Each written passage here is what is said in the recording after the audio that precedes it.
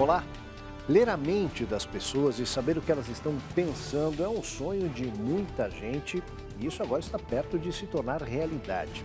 Cientistas norte-americanos estão criando uma máquina que, além da leitura da mente, é capaz de mapear as áreas do cérebro em atividade. Por exemplo, se a pessoa está predisposta a ações violentas ou pacíficas, se tende a interagir com outras e seguir as normas sociais ou pode se tornar agressiva.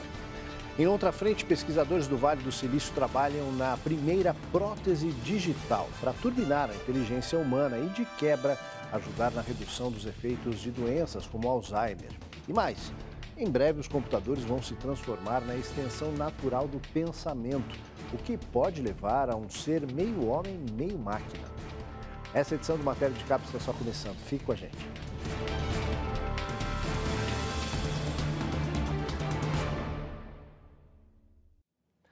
Que já foi antecipado inúmeras vezes pela ficção está perto de se tornar realidade. Vem aí a máquina de ler pensamentos. Para alguns pode ser um meio de satisfazer uma antiga curiosidade, para outros, uma poderosa ajuda no diagnóstico de doenças mentais.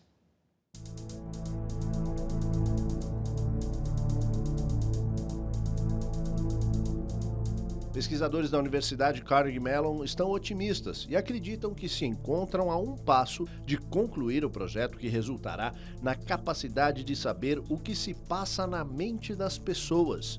O estudo conduzido pelo Dr. Marcel Just utiliza um programa de computador para fazer uma espécie de tradução do pensamento das pessoas, com base na atividade cerebral e no histórico de cada indivíduo. O procedimento utiliza um scanner de ressonância magnética que faz inicialmente a identificação das áreas do cérebro em atividade. Essas áreas são identificadas por meio de diferentes cores. O azul indica ações relacionadas com a atividade física, impactos e violência. O amarelo tem a ver com a comunicação pessoal, atividade intelectual e normas sociais. O vermelho está relacionado com a localização, deslocamentos e o tempo e o verde, com sentimentos, emoções e interação social. O Dr. Just explica que, sabendo o assunto de apenas uma frase dita pela pessoa, é possível prever os padrões de atividade cerebral e qual deve ser a reação dela a um determinado evento. Mas antes, o algoritmo responsável pela antecipação é alimentado por dados coletados da pessoa, ou seja, o computador recebe antecipadamente um histórico daquela pessoa para que possa fazer a leitura. No futuro, à medida que o sistema for aperfeiçoado, será possível fazer uma tradução do que se passa pelo cérebro do indivíduo. Mas o mais importante é que o sistema vai permitir o uso da análise dos padrões de atividade cerebral para o diagnóstico de doenças mentais. O resultado trará uma importante contribuição na luta contra distúrbios como o autismo, esquizofrenia e outros problemas de ordem psiquiátrica.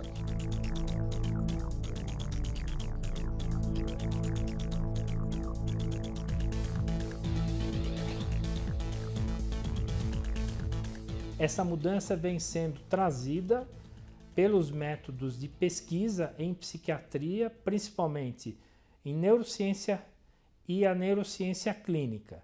Na minha opinião, a psiquiatria se tornará uma psiquiatria ainda, não vai deixar de existir, mas vai utilizar esses métodos para diagnósticos mais precisos e acompanhamentos precisos.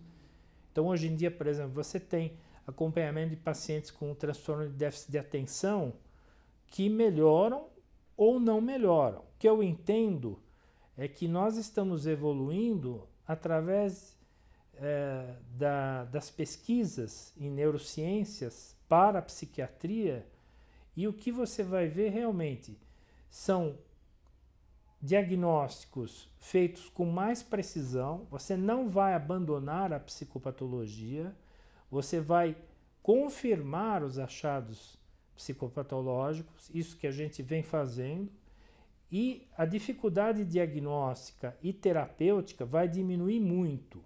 E a psiquiatria não vai deixar de existir, porque o paciente psiquiátrico exige não só uma leitura, mas um acolhimento que é diferente do acolhimento que se faz com com as pessoas infelizes ou tristes. A tentativa de ler o que passa na mente das pessoas vem desencadeando uma série de estudos nos Estados Unidos. Vamos ver o que andam fazendo outros pesquisadores.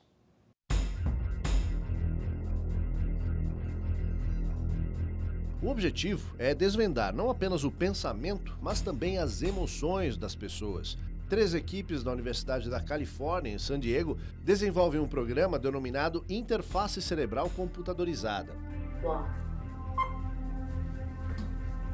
Este paciente, que sofre do mal de Parkinson, espera ter movimentos normais à medida que a doença avançar. E os médicos também depositam esperanças nos resultados desses estudos. Conduzidos pelo cientista Virginia Desai e Howard Posner, o estudo utiliza uma espécie de conexão digital para monitorar o cérebro do paciente. 64 sensores fazem a leitura dos sinais emitidos pelas diversas áreas cerebrais. A doutora Virginia Dessá explica que nos casos de Parkinson, a voltagem recebida nas conexões indica se o paciente está perto de sofrer maiores limitações nos movimentos. No futuro, o método pode antecipar o momento em que isso deve ocorrer, o que facilita o deslocamento do paciente. Um dispositivo digital poderá ser utilizado para ativar os músculos e o sistema nervoso. Os sensores poderão ser instalados num boné e outros equipamentos vão completar o monitoramento. Em outra etapa, os médicos esperam fazer uma espécie de treinamento do cérebro para enfrentar as consequências da doença.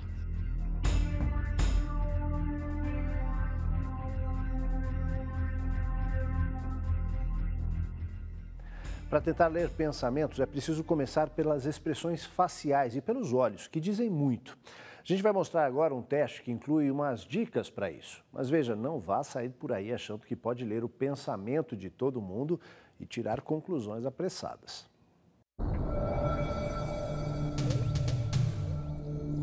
O teste foi elaborado por pesquisadores do Departamento de Psicologia da Universidade de Cambridge, liderados pelo Dr. Simon Baron Cohen. Denominado Reading the Mind in the Eyes Test, ou seja, lendo a mente no teste dos olhos, o programa online aberto a todos os internautas apresenta uma série de fotos de pessoas com expressões bem diferentes, que vão da preocupação à curiosidade, medo e outras sensações que podem ser percebidas dependendo do grau de observação de cada pessoa. No total são 37 fotos. Ao término, cada participante recebe uma nota que indica seu poder de detectar expressões. A média para os adultos britânicos é de 26, mas aqueles que tirarem uma nota baixa não devem se preocupar.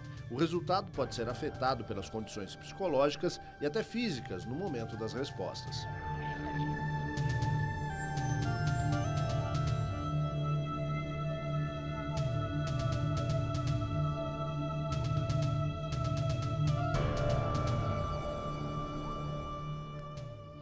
Há muito tempo, os estudiosos da psicologia vêm tentando desenvolver métodos mais apurados para saber o que se passa na cabeça das pessoas.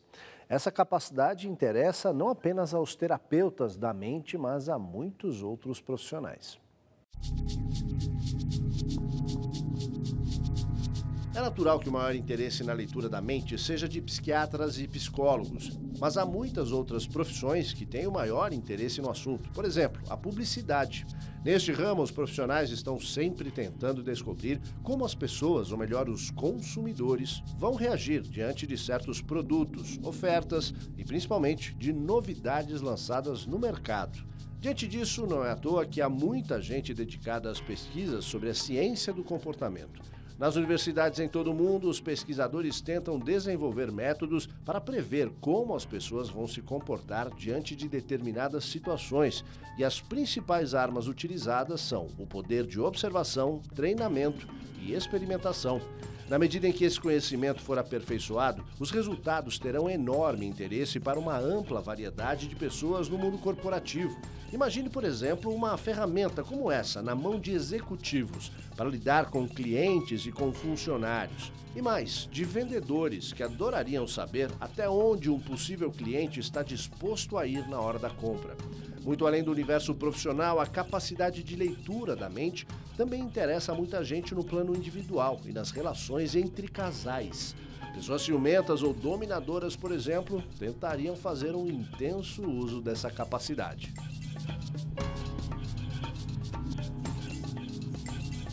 o que, que os pesquisadores estão fazendo? Estão trazendo para os clínicos a possibilidade de enxergar é, alterações psiquiátricas que até então não eram possíveis de serem vistas através de imagens, através de testes.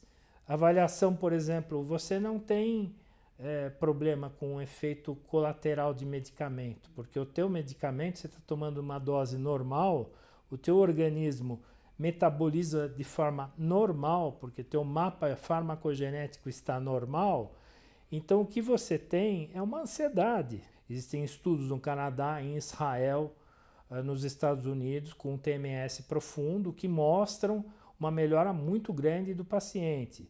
E o DBS, que é Deep Brain Stimulation, que é utilizada em forma cirúrgica, não é, ainda é, é, de maneira clínica, no dia a dia clínico, mas de maneira experimental e que tem mostrado soluções muito importantes uh, na doença de Parkinson, por exemplo. Existem algumas cirurgias que são aprovadas, né?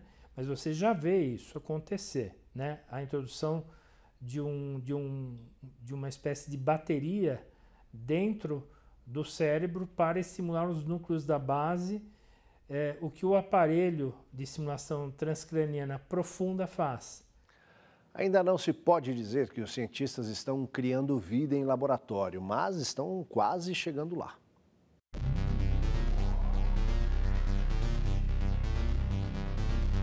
Pesquisadores do Broad Institute, que reúne cientistas da Universidade de Harvard e do MIT, conseguiram um feito inédito que vai permitir a cura de inúmeras doenças, como a cegueira de nascença e outras relacionadas com a herança genética.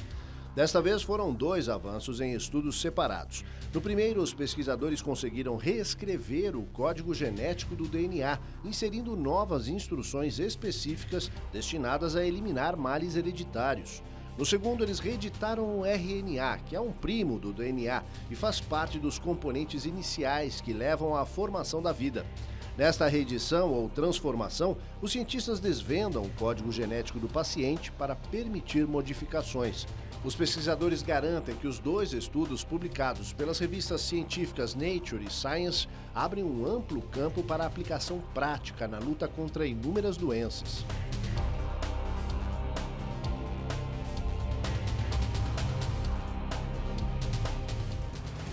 Daqui a pouco, a Grã-Bretanha se torna o primeiro país a autorizar o nascimento de bebês com três pais. E veja também, o surgimento dos ciborgues, meio homem, meio máquina, está mais próximo do que se imagina. A gente volta já.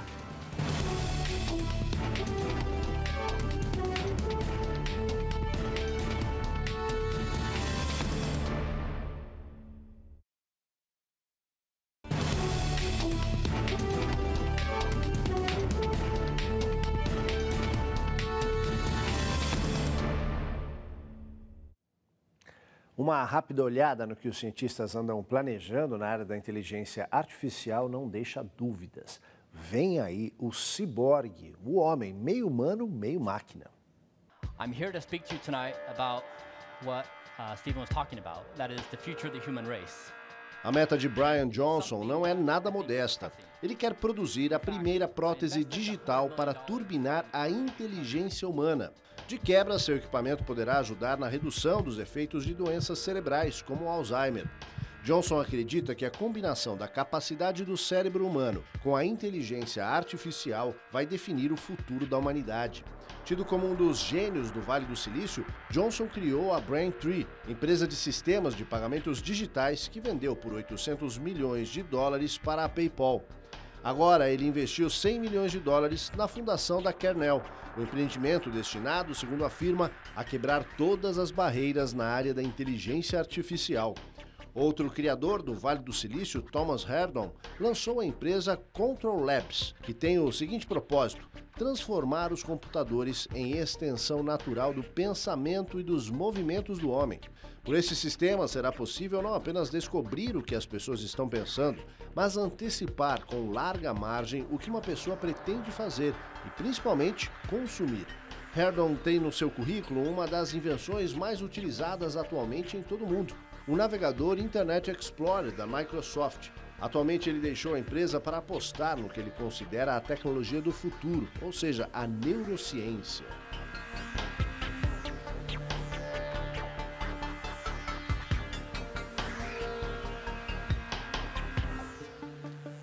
Em apenas três dias, um sistema de inteligência artificial aprendeu as regras do jogo Go, criado pelos chineses há milhares de anos, e bateu os atuais campeões da modalidade.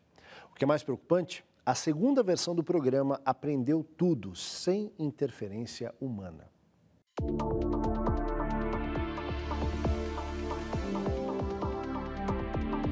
Apelidado de AlphaGo, o programa de computador foi criado pela DeepMind, empresa de inteligência artificial da Grã-Bretanha comprada pelo Google. A máquina precisou de apenas três dias para aprender as regras do Go, inventado pelos chineses há 3 mil anos e que exige, além de um alto poder de raciocínio, muita intuição para tentar adivinhar os próximos passos do adversário. Esse jogo, disputado com pedras brancas e pretas, também é considerado o mais complexo desafio para dois participantes já inventado. A primeira versão do sistema já havia vencido vários competidores. A segunda, a AlphaGo Zero, bateu 18 vezes o mestre Lee Sedol. Em seguida, bateu por 3 a 0 o atual número 1 da modalidade, QGE. Isso depois que a máquina aprendeu sozinha a dominar as regras, sem qualquer interferência humana. Trata-se de um processador criado à semelhança do cérebro humano, mas que tem uma capacidade para realizar 4 milhões e 900 mil operações de jogos ou de matemática em apenas 3 dias. Para os programadores da DeepMind, a AlphaGo Zero já ultrapassou os limites do conhecimento humano.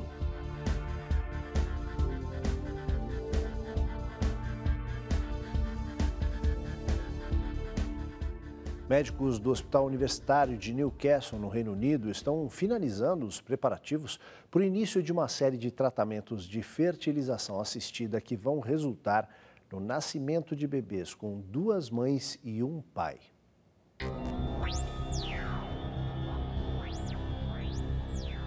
Depois que as autoridades britânicas do setor de saúde autorizaram esse tipo de procedimento, que se baseia na alteração parcial do DNA para a substituição das mitocôndrias, os especialistas do Newcastle Fertility Center começaram a selecionar os casais que vão se beneficiar da terapia. As mitocôndrias são componentes responsáveis pela energia das células. Os bebês nascidos desse tipo de tratamento terão duas mães e um pai.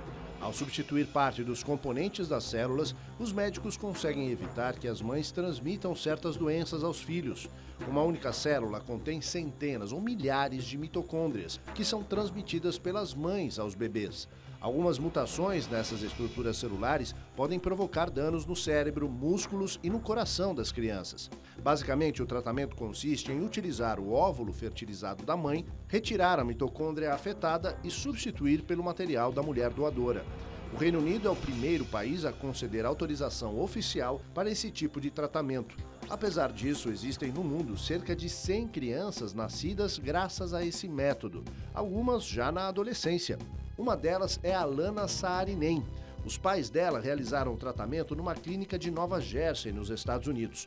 Um ano após o nascimento de Alana, que hoje tem 17 anos, o Congresso norte-americano proibiu a terapia. A mãe de Alana, Sharon Saarinen, passou 10 anos tentando ter filhos e perdeu todos.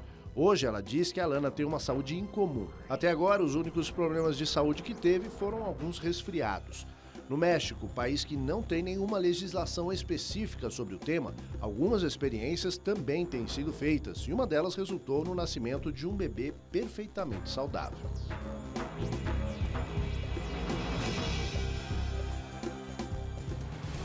Em instantes, cresce o uso da terapia personalizada a partir da mudança genética para o combate ao câncer. E mais, o poder do sono, da eliminação de algumas doenças, as mudanças na aparência e no comportamento. Não sai daí.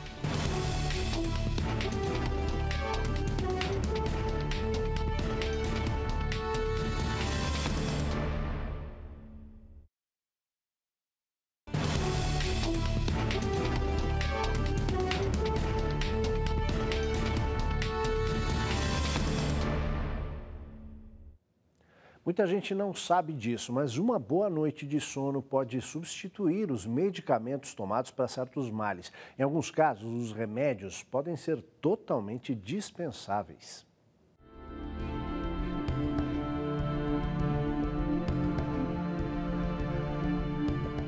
Embora a tendência da maioria das pessoas seja de buscar tratamentos à base de remédios, um estudo do setor de saúde do governo britânico alerta que, em muitos casos, basta uma noite de sono tranquilo para o corpo recuperar as defesas. A principal conclusão dos pesquisadores do Public Health England é que não se deve tomar antibióticos contra infecções comuns que podem ser combatidas pelo próprio organismo. Por exemplo, aquelas do aparelho respiratório que costumam se concentrar na garganta e faringe. O certo é consultar um médico e nunca tomar o remédio pela indicação de amigos ou parentes. O uso exagerado de antibióticos tem provocado o surgimento de bactérias ultra-resistentes, que vem se tornando um problema para os médicos em todo o mundo. Agora, uma outra dica relacionada com os efeitos do sono. Pesquisadores do Instituto Karolinska, de Estocolmo, na Suécia, confirmaram que as pessoas se tornam mais atraentes depois de uma boa noite de sono. O efeito, segundo o estudo, vai além da aparência física e influi no comportamento e até na autoestima.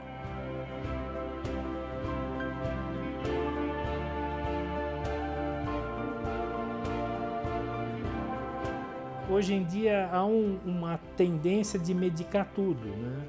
Com antidepressivo, você medicar a vida. Os eventos da vida não podem ser medicados.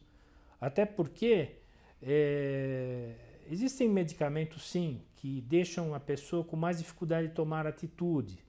Existem, existem. Existem alguns antidepressivos que deixam a resposta a eventos da vida menos significativas e de repente você está numa situação onde você tem que tomar uma decisão. Uma pessoa está infeliz em função de um casamento infeliz ou de uma faculdade que ele não quer terminar, mas ele não tem vontade de ir, ele procrastina, mas ele não procrastina por causa de uma depressão.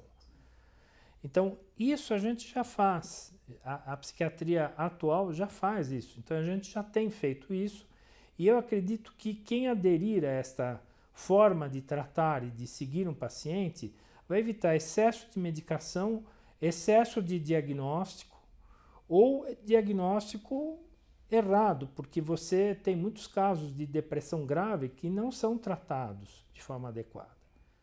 Diante do avanço das novas descobertas no combate ao câncer, a Agência para Remédios e Alimentos dos Estados Unidos autorizou a aplicação da segunda terapia alternativa personalizada. Neste novo tratamento, as células do paciente são removidas, geneticamente modificadas e reintroduzidas no organismo para combater o câncer.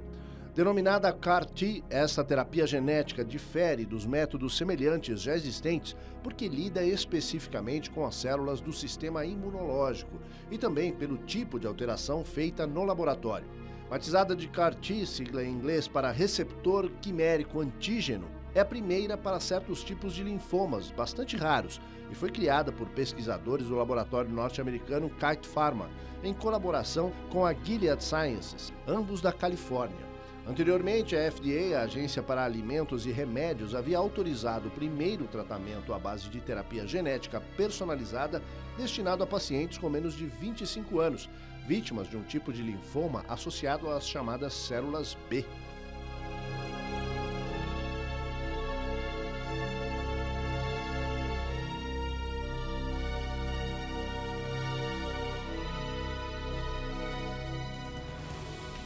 É bom estarmos preparados para as surpresas que a ciência nos reserva.